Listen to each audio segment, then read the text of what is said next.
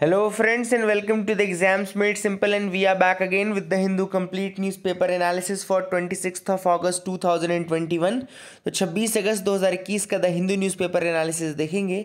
शुरू करने से पहले आपको बता दूँ कि अगर आपको वीडियो पसंद आती है तो please do like it from your side इसके अलावा आप हमारे पूरे कंटेंट को देख सकते हैं TEMS I S dot com पर the website is TEMS I A S dot com.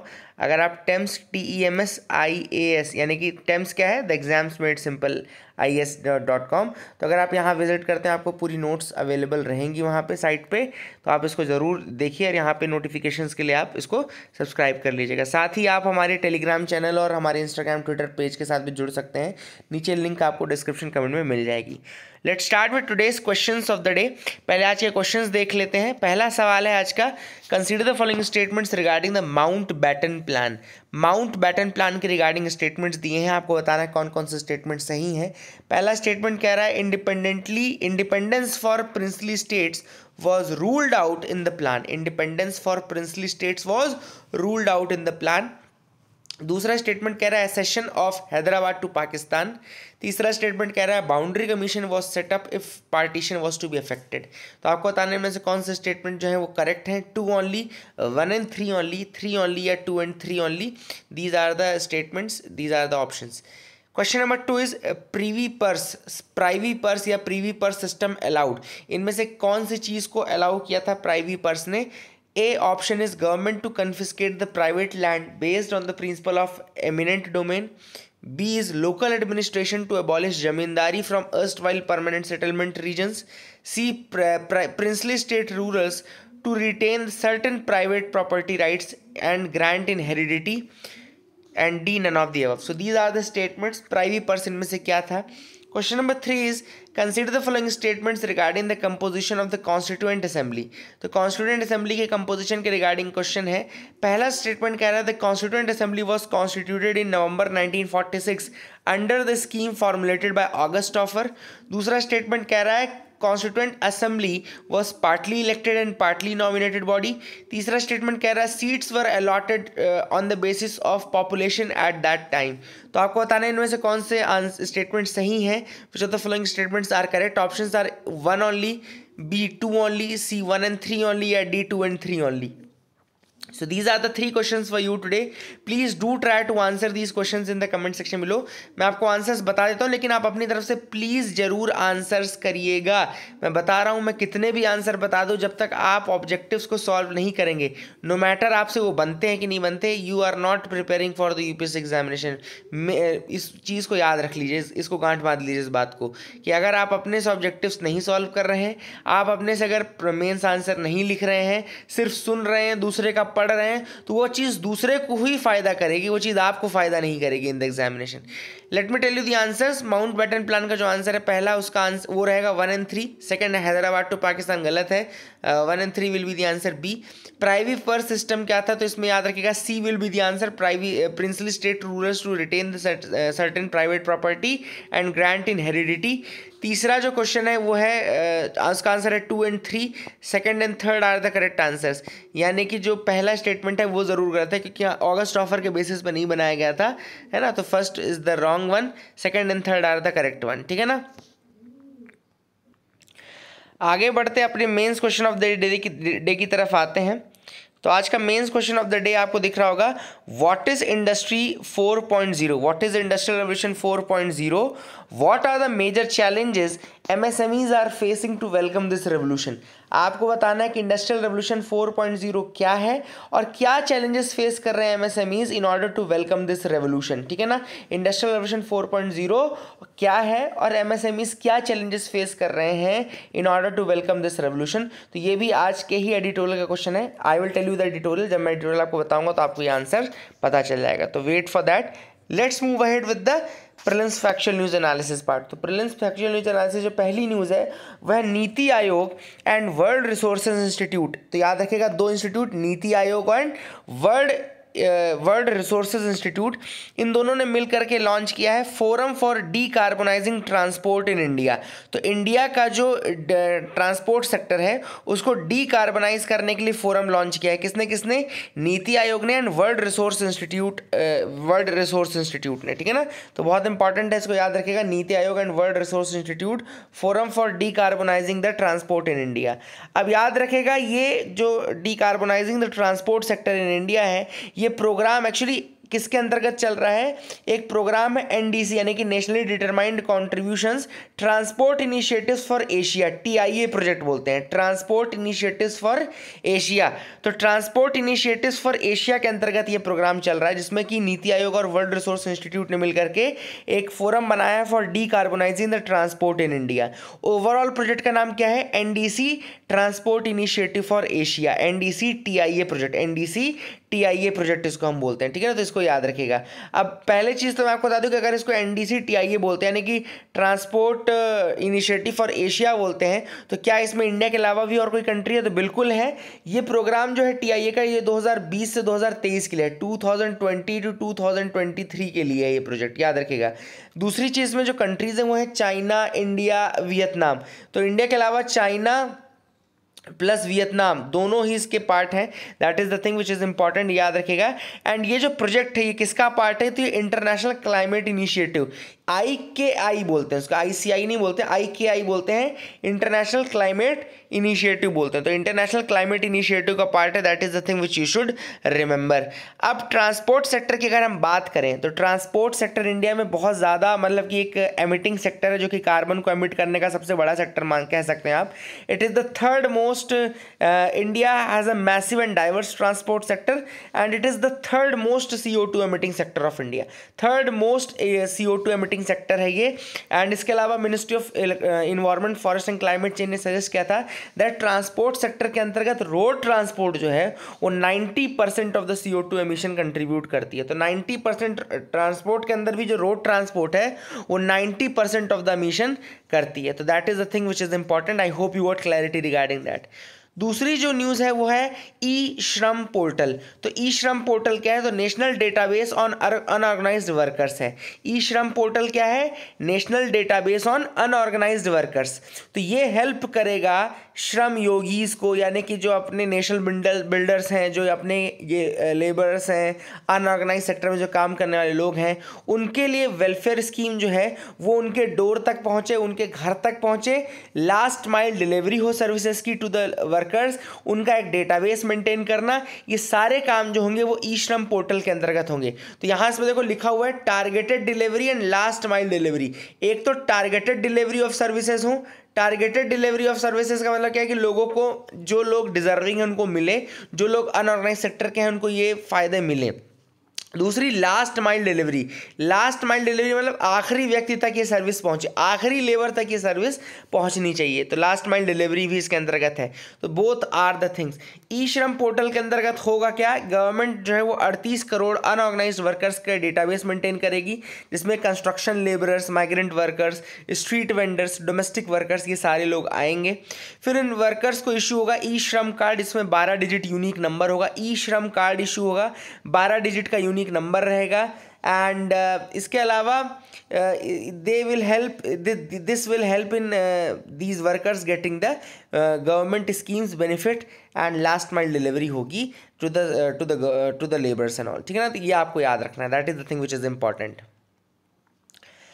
अगली जो न्यूज़ है वो है what is the procedure to arrest cabinet minister in India तो अभी नारायण राणे का केस आपको पता होगा कल नारायण राणे को अरेस्ट किया गया। एंड uh, नारायण राणे जो है वो कैबिनेट मिनिस्टर है। तो what is the procedure to arrest the cabinet minister let me tell you तो पहली चीज़ दो पार्ट में डिवाइडेड है ये procedure this procedure is divided into two part first is when the parliament is not in session and second one is when the parliament is in session तो when the parliament is not in session अगर parliament session में नहीं है तो cabinet cabinet minister can be arrested by a law enforcement agency in, in case of a criminal case registered against him. तो अगर parliament session में नहीं है तो कैबिनेट मिनिस्टर को अरेस्ट किया जा सकता है by the law enforcement agency in case of a criminal case registered against him section 22 A है rules of procedure and conduct of business of the Rajya Sabha इस जो कहता है कि द पुलिस जज और magistrate would have to intimate intimate the chairman of the Rajya Sabha about the reasons for the arrest, the place of detention or imprisonment in an appropriate form.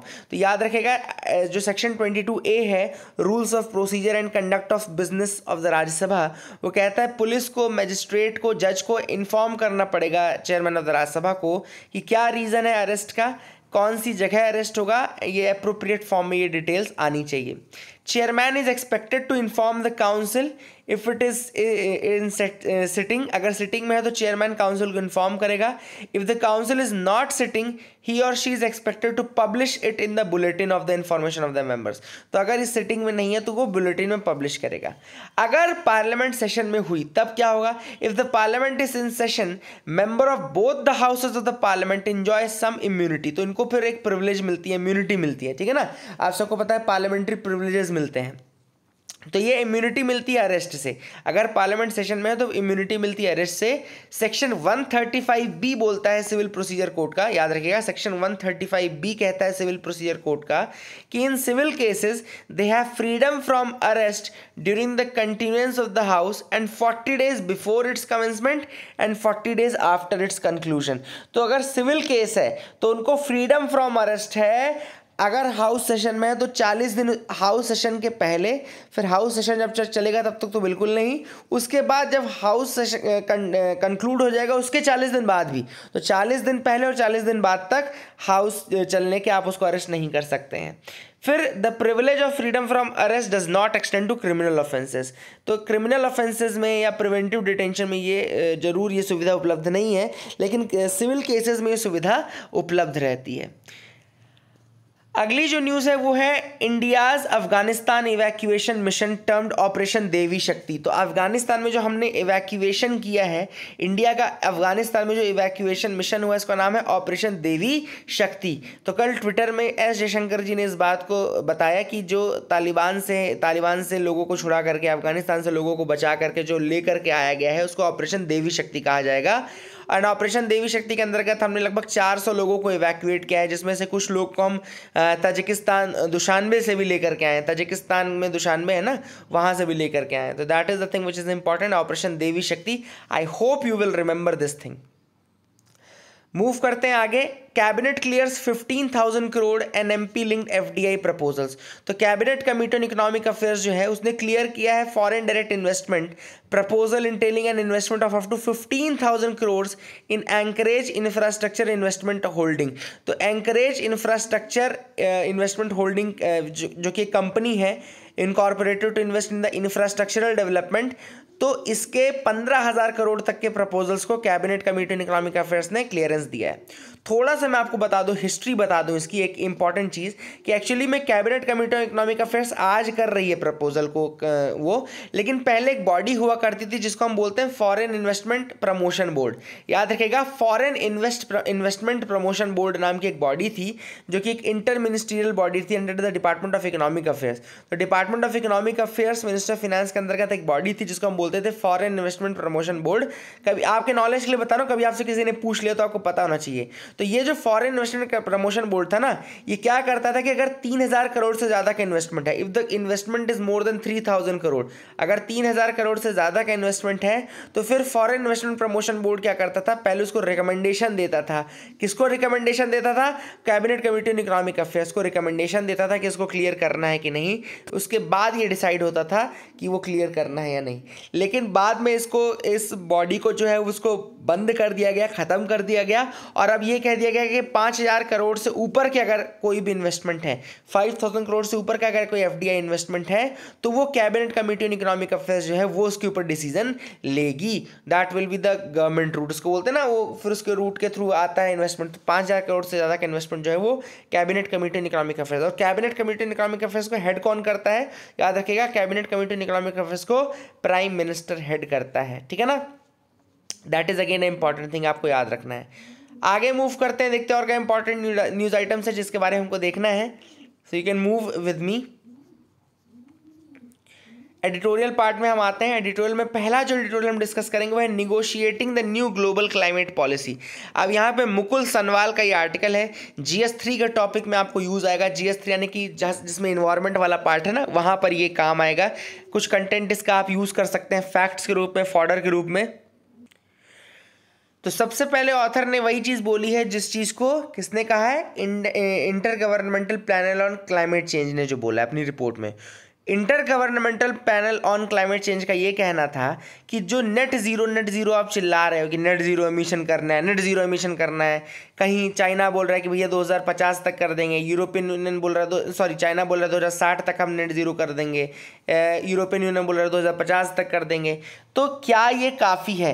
तो जैसा कि inter governmental panel on climate change का कहना है कि this is not sufficient केवल आप ये सोचें कि नेट ज़ीरो एमिशन करने से काम हो जाएगा तो वो बिल्कुल नहीं होगा this is what the author also says net zero alone is not guaranteeing the temperature level decrease temperature level decrease को वो गारंटी नहीं कर सकता है नेट ज़ीरो मिशन फिर ऑथर इसके बाद बोलता है कि इंडिया के अपने नीड्स भी हैं। इंडिया के अपने नीड्स क्यों हैं? कैसे ऑथर ने बोला? है सबसे पहली बात तो वर्ल्ड का जो एवरेज एमिशन है, वो 6.55 tons of carbon dioxide per capita है। Per capita greenhouse emission gas की बात करें तो 6.55 टन्स ऑफ़ कार्बन डाइऑक्साइड है। इंडिया का अगर हम पर कैपिटा एमिशन देखेंगे तो वो केवल 1.96 टन्स है। तो मतलब कि पर कैपिटा के टर्म्स में अगर हम बात करें तो इंडिया ग्लोबल एवरेज के वन थर्ड से भी कम ग्लोबल एवरेज के वन थर्ड से भी कम एमिशन करता है। तो ऐसे में आप किस तरीके से इंडिया को बोल सकते हो? क्या ये फैक्ट ज़रूर याद रख लेना। क्या होता है आंसर राइटिंग करने में ना, हर बड़े एडिटोरियल से आपको एक दो फैक्ट ऐसे मिल जाएँगे। यही पूरे एडिटोरियल की जान होती है। जो फैक्ट मिल जाते हैं ना आपको, ये फैक्ट आपकी जान है आंसर राइटिंग की। तो जी थ्री में कभी भी क्वेश्चन आया क्लाइमेट चेंज का या नेट न्यूट्रल का, या ये तो आप उसमें ये चीज़ कोट करिएगा कि जब पर कैपिटा एमिशन ग्लोबल है, वो six point five five ton है। इंडिया का जो है वो 1.96 टन है, यानी कि less than one third United States and Australia इन सब की बात करें तो they are more than two and half times that of India तो दो, ढाई गुना ज़्यादा ये एमिट करती हैं पर कैपिटा टर्म्स में ये कंट्रीज़ इसके अलावा अगर हम चाइना का देखें तो 6.4 टन्स है 6.4 टन्स है, जो कि जस्ट ग्लोबल एवरेज के बराबर ही, कह सकते हैं। तो कुल मिलाकर के नेट ज़ीरो अगर हम एमिशन 2050 तक अडॉप्ट करते हैं तो हमको कॉम्प्रोमाइज़ करना पड़ेगा अपने अर्बनाइजेशन पे, हमको कॉम्प्रोमाइज़ करना पड़ेगा अपने रूरल पॉपुलेशन के साथ, और हमको कॉम्प्रोमाइज़ करना पड़ेगा अपने मिडिल क्लास के साथ भी। क्योंकि हमारा अभी भी रूरल क्लास और मिडिल क्लास जो है वो डेवलपमेंट के उस पर है चरम पे है। एंड ये तभी पॉसिबल है जब हम इसको थोड़ा सा अलाउ करें कि आप अभी भी हाँ ठीक है, आप डेवलपमेंट के लिए थोड़े स्टेप्स ले सकते हो, ठीक है ना? तो यहाँ पर ऑथर बात करें negotiate negotiating the new global climate policy तो हमको एक ऐसी ग्लोबल पॉलिसी निगोशिएट करनी है, जिसमें आप एम्पल स्पेस दे रहे हो इन डेवलपिंग कंट्रीज़ को कि वो डेवलप भी कर सकें और आपके पास एम्पल स्पेस हो कि आप क्लाइमेट चेंज को भी रोकने के लिए प्रयास कर सकें। तो ये एक इंपॉर्टेंट चीज़ है जो ऑथर ने यहाँ पे बोली। You have to have a balance between the two कि जो मिडिल क्लास है, जो रूरल क्लास है। अब देखो, ये भी एक बहुत अच्छी चीज़ है कि जब आप आंसर राइटिंग करेंगे तो आप स्पेसिफिकली रूरल और मिडिल क्लास के ऊपर एक पॉइंट बना सकते हो, बहुत अच्छा। क्योंकि वो सबसे ज़्यादा इंपैक्टफुल क्लास है। जो रिच क्लास है, देखो, वो तो रिच हो गई, वो डेवलप हो गई ऑलरेडी है ना? लेकिन अभी भी बची कौन सी क्लासेस हैं डेवलप होने के लिए? वो है middle class and rural rural classes तो यहाँ पर that is the thing which is important अब ऑथर कह रहा है कि दोनों चीज़ें इंपॉर्टेंट है, आपको टेम्परेचर भी कम करना है और आपको डेवलपिंग कंट्रीज़ में इस तरह से डेवलपमेंट एजेंडा को भी फुलफिल करना है।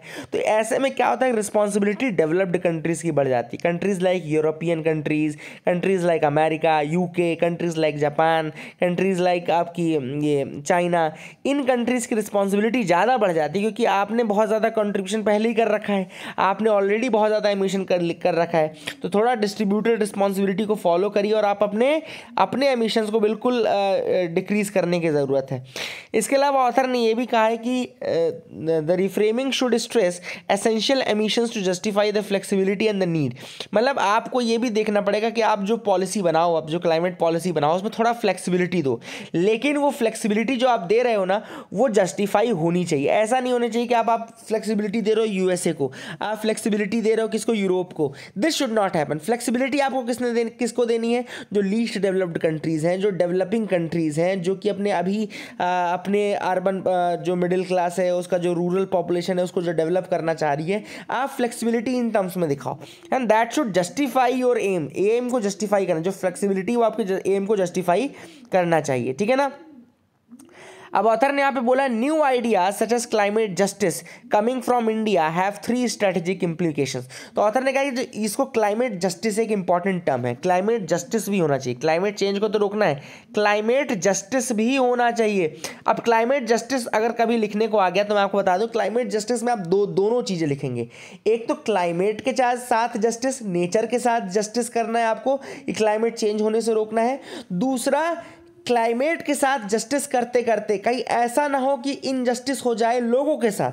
That is again a thing which is very important एक बहुत इंपॉर्टेंट कंसेप्ट है समझने के लिए एक क्लाइमेट के साथ आप जस्टिस कर रहे हैं क्लाइमेट चेंज को आप रोक रहे हैं। बट क्लाइमेट चेंज को रोकते रोकते कहीं ये इनजस्टिस उन लोगों के साथ ना हो जाए जो अभी भी डेवलपमेंट से बहुत दूर हैं, जो अभी भी नए नए रूरल मिडिल क्लास में में आए हैं। जो अभी अभी अर्बन क्लास में आए तो that is thing climate justice सिर्फ़ क्लाइमेट के साथ नहीं होता क्लाइमेट जस्टिस लोगों के साथ भी करना है, ठीक है ना?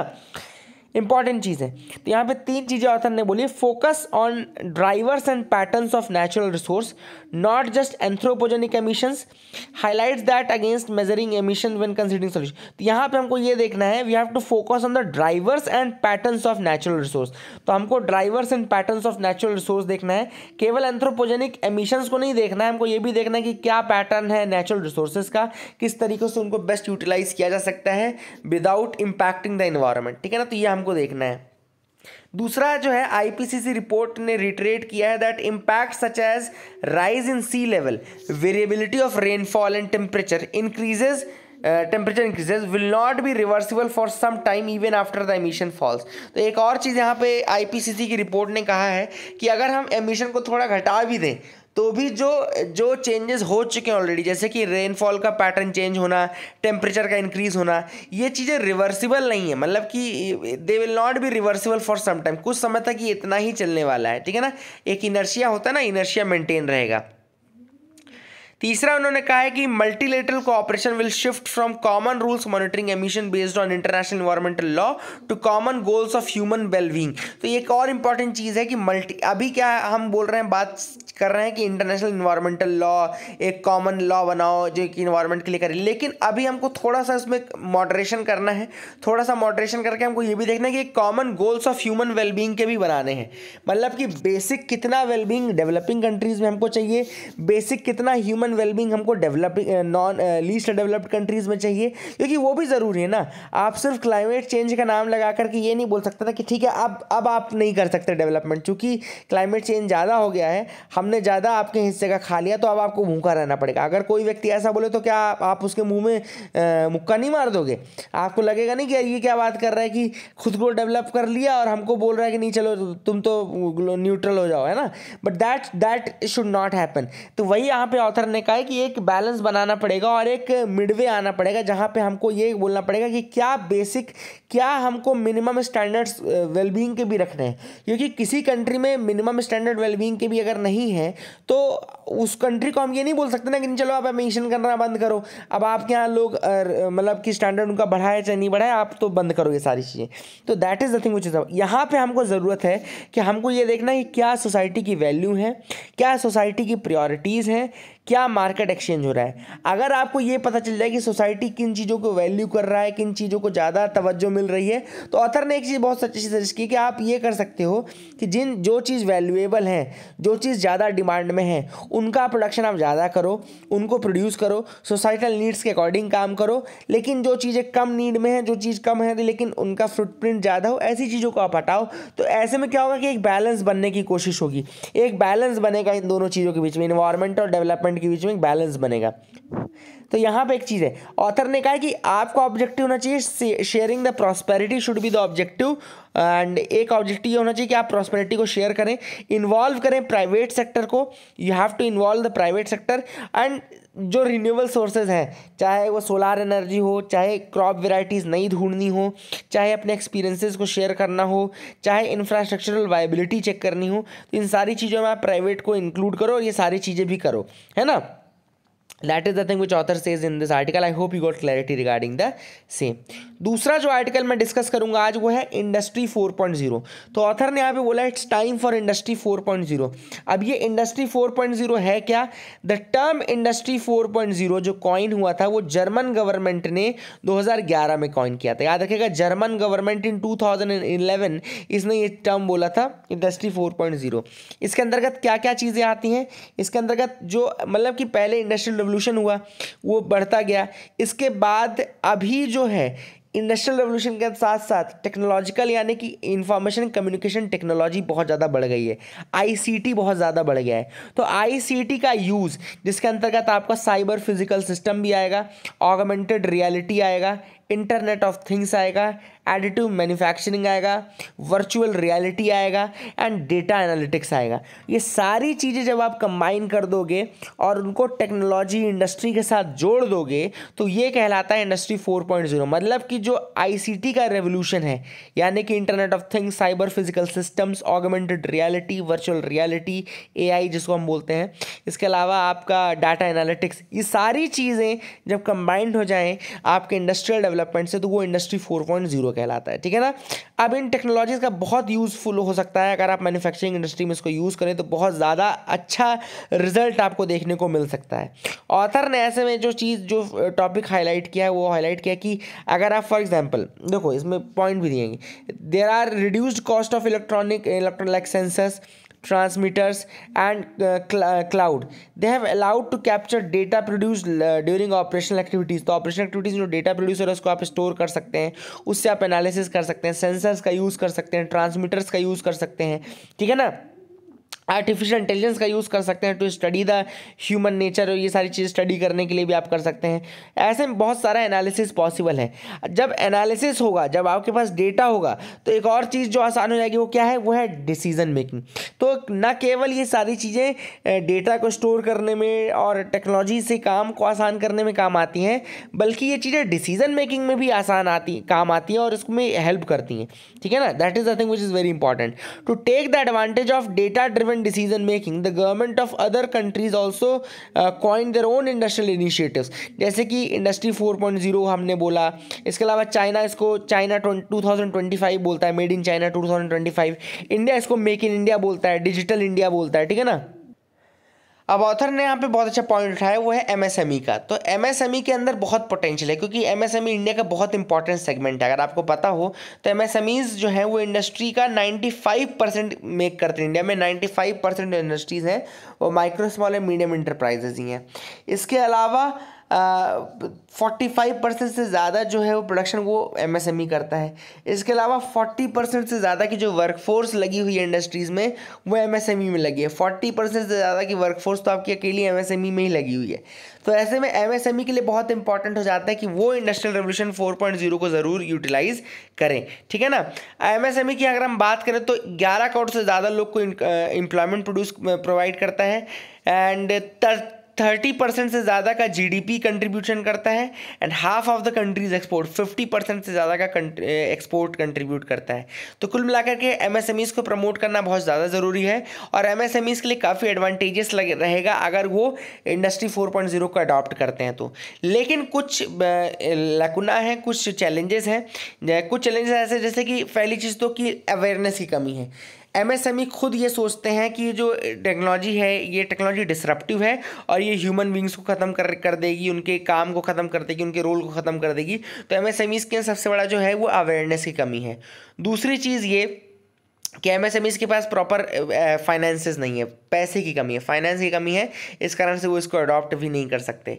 तीसरा जो प्रॉब्लम है, वो ये है कि M S M E finance मैंने बताया। तीसरा जो है, वो ये है कि new technology new to adopted एक पॉजिटिव ऑर्गेनाइजेशनल कल्चर की ज़रूरत पड़ती है। एम एस एम ईज को चाहिए कि एक पॉजिटिव एटीट्यूड हो, एक पॉजिटिव मतलब टेक्नोलॉजी को अडॉप्ट करने का माइंडसेट हो। लेकिन टेक्नोलॉजी का माइंडसेट नहीं है, इस कारण से जो चीज़ है, वो गड़बड़ हो जाती है। यहाँ पे कि टेक्नोलॉजी को अडॉप्ट करने का माइंडसेट भी होना चाहिए। MSMEs need to believe in the advantages that uh, industry 4.0 technologies can offer मतलब एम एस एम ई को ये भी बिलीव करना पड़ेगा कि क्या एडवांटेज मिल सकते हैं 4.0 को अडॉप्ट करने से। तभी वो इसको अडॉप्ट करेंगे ठीक है ना?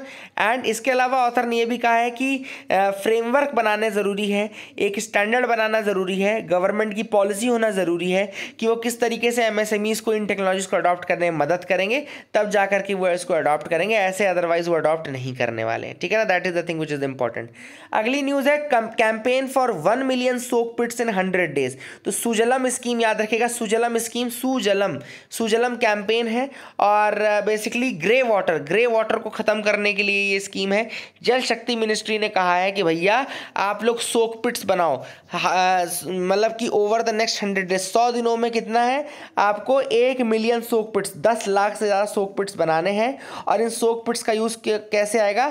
जो वाटर बॉडीज की क्लॉगिंग है, उसको ख़त्म करने में काम आएगा और ग्रे वाटर के ट्रीटमेंट में आएगा। तो ग्रे वाटर क्या होता है? पहले तो मैं आपको एक और चीज़ बता दूँ grey water basically domestic waste water होता है, जो कि हाउस होल्ड्स में जनरेट होता है ऑफ़िस बिल्डिंग्स में जनरेट होता है। इसमें आपका फीकल कंटेमिनेशन भी होता है। ये ज़्यादातर टॉयलेट से या सिंक से जो किचन सिंक होती हैं शार सिंक होते हैं बाथरूम सिंक्स होते हैं वॉशिंग मशीन के सिंक्स होते हैं डिश वॉशर्स के सिंक होते हैं, वहाँ से निकलता है। ये आपका ग्रे वाटर कहलाता है। जल शक्ति मिनिस्ट्री ने सुजलम के लिए बोला है मतलब कि उन्होंने कहा है कि भैया आप लोग दस, एक मिलियन यानी कि दस लाख से ज़्यादा सोक पिट्स बनाओ, सौ दिनों के अंतर्गत उसका फिर अपन यूज़ करेंगे। Centre raises fair price of sugarcane अब आपको पता होना चाहिए, देखो शुगर केन के लिए जो एमएसपी होती है, उसको हम बोलते हैं FRP fair prices fair and remunerative prices बोलते हैं। शुगर केन अगर यूज़ हो गया तो फेयर एंड रेम्यूनरेटिव प्राइजेस बोलेंगे। लेकिन अगर शुगर हो गया शुगर के लिए हम एमएसपी ही यूज़ करते हैं। शुगर के लिए टर्म्स एमएसपी ही यूज़ होता है, ठीक है ना? तो याद रखिएगा जो फेयर एंड रेम्यूनरेटरी प्राइस है, वो सेंटर ने बढ़ा दिया है शुगर केन के लिए। इस कारण से मिल्स वाले अब बोल रहे हैं कि, भैया, ठीक है, आप शुगर केन का तो बढ़ा रहे हो लेकिन शुगर केन कौन खरीदता है? शुगर केन खरीदते हैं मिल्स वाले फार्मर से। अब देखना काम कैसे चलता है लिंक कैसे बनती है? फार्मर टू मिल ठीक है ना? Mill to public mill to public यानी कि पब्लिक या गवर्नमेंट खरीद, कोई भी खरीद सकता है ना? तो फार्मर से जो मिल्क ओनर्स खरीद रहे हैं तो फार्मर्स के लिए बेसिक एक मिनिमम प्राइस है, जिसको हम फेयर एंड रिम्यूनेटिव प्राइस बोल रहे हैं। सेम मिल से जब खरीद रहे हैं गवर्नमेंट अपने स्टोर हाउसेस के लिए तो वो जो मिनिमम सपोर्ट प्राइस दे रहे हैं। तो मिल ओनर्स बोल रहे हैं कि ठीक है, आपने एफ़ आर पी बढ़ाया तो हमको तो महँगा मिल रहा है। तो आप अब हमारा जो शुगर के शुगर का एम एस पी है, वो भी इंक्रीज़ करो। That is the basic idea तो ये मैंने आपको इसलिए बता दिया ताकि आपको लिंकेज पता रहे, है ना? कई बार लिंकेज नहीं पता रहती तो आदमी को समझ नहीं आता कि ये क्या एफ़ आर पी है और क्या एम एस पी है। आगे मूव करते हैं Havana syndrome Kamala Harris reaches Hanoi after Havana syndrome तो अब कमला हैरिस का जो प्लेन था, वो कल थोड़ा लेट हो गया वियतनाम में वियतनाम जाने के लिए। और इसका रीज़न हवाना सिंड्रोम को बताया जा रहा है। क्या है हवाना सिंड्रोम देखो, मैं बताता हूँ। एक्चुअली में हुआ क्या था? 2016 में कुछ डेलीगेशन गया था यूएसए से, कहाँ पे? क्यूबा, हवाना में। हवाना जो कि क्यूबा में है, वहाँ पे डेलीगेशन गया था। अब उस डेलीगेशन को अचानक से क्या हुआ कि कुछ अननोन सिम्टम्स आने लगे। मतलब डायग्नोस नहीं हो पाया कि क्या रीज़न था, लेकिन कुछ ऐसे सिम्टम्स आने लगे जिसमें उनको नोजियाटिक फील होने लगा, उनको हेड होने लगा डिजीनेस आने लगी स्लीप प्रॉब्लम्स होने लगे हियरिंग लॉसेज होने लगे, और उनको अचानक से कुछ आवाज़ें सुनाई देने लगी, है ना? तो ये चीज़ उनको क्यूबा, हवाना हवाना क्यूबा में हुआ था। इस कारण से ये जो अननोन डिसीज़ है, जिसमें इस तरह के कुछ सिम्टम्स होते हैं, इनको हवाना सिंड्रोम कहा जाता है। इसको हवाना सिंड्रोम कहा जाता है। ये मिस्टीरियस इलनेस है, इसी को हवाना सिंड्रोम कहा जाता है। ठीक है ना? तो यही चीज़ था, यही रीज़न था जिस कारण से कमला हैरिस का जो प्लेन था वो लेट हो गया। But I hope you got clarity regarding this Havana syndrome आपको समझ में आ गया होगा। ठीक है ना? आगे मूव करते हैं, देखते हैं क्या इंपॉर्टेंट न्यूज़ आइटम्स है जिनके बारे में डिस्कस करना है। Mill demands higher MSP for sugar तो मैंने ऑलरेडी आपको ये पूरा कॉम्बिनेशन समझा दिया कि किस तरीके से एफआरपी और एमएसपी का काम चलता है। इंडिया की बहुत बुरी कंडीशन हो गई कल टेस्ट मैच में। I hope India revert back करे और जीते। So that is it for the day keep loving us keep sharing us thank you and a nice day